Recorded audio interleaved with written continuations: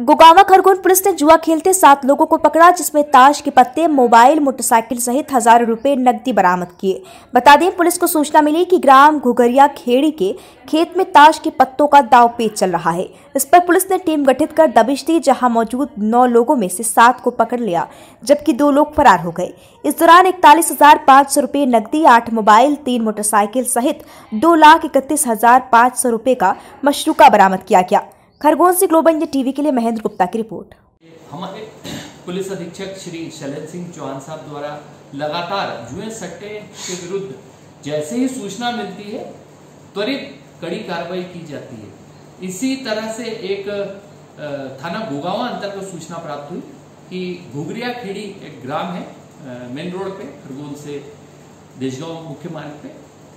वहाँ से लगभग एक किलोमीटर एक ग्राम है, सेलना करके। वहाँ पर एक नाले के वहाँ कुछ लोग जुआ खेल रहे हैं, सूचना प्राप्त हुई। इस पर हमारे जो ज़िले के टीम है, उसके और गुगाओं की जो मिक्स टीम हमारे द्वारा बना के भेजी गई। और मौके से सात लोगों को हमने पकड़ा, जिनके पास ताश के पत्ते और इकतालीस हज़ार पाँच सौ रुपये का जुआ खेलते हुए इनका नगद जब्ती की गई। इसके अतिरिक्त इनसे तीन मोटरसाइकिलें और सात मोबाइल भी जब्त किए। इस तरह से लगभग ढाई लाख रुपए का मशुका इनसे बरामद कर जब्त किया गया है। आरोपी जो दो फरार थे, उनको भी गिरफ़्तार कर लिया गया है। टोटल नौ। और इस तरह की मुहिम लगातार जारी है